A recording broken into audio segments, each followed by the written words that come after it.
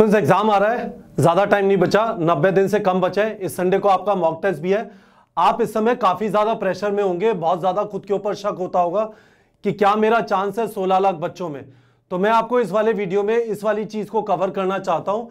यदि आपको लगता है आई एम मीडियोकर क्या मैं नीट क्रैक कर सकता हूँ? मैं एक एवरेज स्टूडेंट हूँ, मैं अपनी क्लास में कभी टॉप नहीं करता था तो मेरा क्या चांस है सोलह लाख स्टूडेंट्स में? ठीक है? तो पहला क्वेश्चन है, आप इंटेलिजेंट हो या गधे हो? ठीक है? ये बकवास क्वेश्चन है, ठीक है? दिस इज़ इरेलीवेंट ठीक है? और यदि आपको कोई भी कम्युनिकेट करता है कि आपकी औकात नहीं है, आप उस इंसान से बात करना बंद कर दो, ठीक है? He is a useless person you don't need to talk to him because कोई भी पैदाइशी इंटेलिजेंट नहीं होता, ठीक है?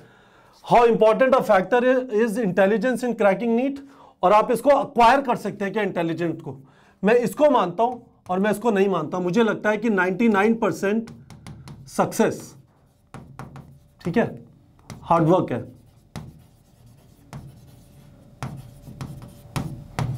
वन परसेंट इंटेलिजेंस है. और यदि इंटेलिजेंस बहुत बड़ा फैक्टर है भी तो आपने सुनी होगी स्टोरी अभिमन्यु गर्भ में सुभद्रा के। उसे सारी स्टोरी सुन ली थी कि कैसे चक्रव्यूह में घुसते हैं। चक्रव्यूह से बाहर आना नहीं सीखा था। स्टोरीज हैं। ठीक है? असलियत में कोई पैदाइशी इंटेलिजेंट नहीं होता, सब मेहनत करके इंटेलिजेंट बनते हैं। अपने दिमाग में बैठा लीजिए, कोई मीडियोकर नहीं होता। यह बात मैं 100 परसेंट गारंटी से बोल सकता हूँ, आप अपने दिमाग में बैठा लीजिए।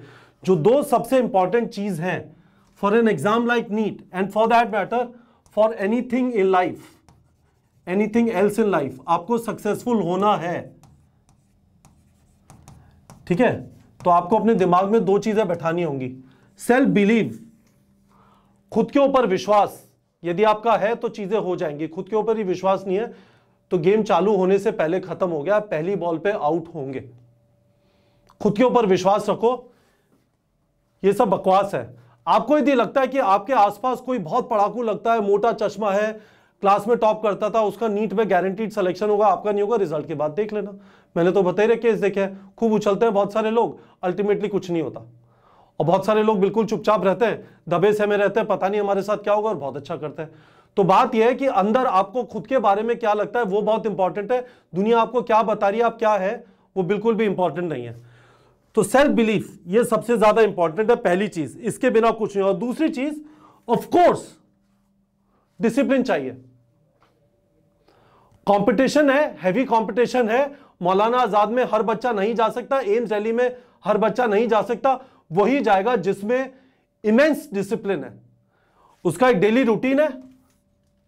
रात को सोने का टाइम सुबह उठने का टाइम कितने घंटे पढ़े, कितने घंटे दोस्तों से बात की, कितने घंटे खाना खाया, कितने घंटे नहाए, ये सारी चीज़ें फिक्स है।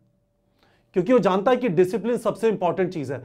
आपको एक दिन में 16 घंटे पढ़ के तीन दिन बीमार नहीं होना, आपको पता है कि आप कितनी कैपेबिलिटी रखते हैं, आप कितना दिन में एब्जॉर्ब कर सकते हैं।